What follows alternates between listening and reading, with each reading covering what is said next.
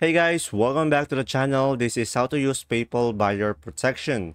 So guys, we're diving into PayPal buyer protection and I'm going to discuss what it is and how it works. So guys, what is PayPal buyer protection? So PayPal buyer protection helps you if something goes wrong with your online purchase. So how to use PayPal buyer protection?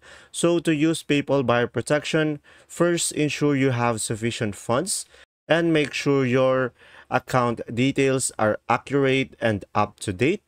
So you can check that by going to the profile icon and selecting the personal info. And guys, if you encounter an issue with a transaction, just simply visit the online resolution center in your PayPal account. You usually have up to 180 days to file a dispute. And if the seller doesn't resolve it within 20 days, escalate it to the PayPal for investigation. So note that buyer protection doesn't cover vehicles, real estate, or machinery, but for most other purchases, you're protected.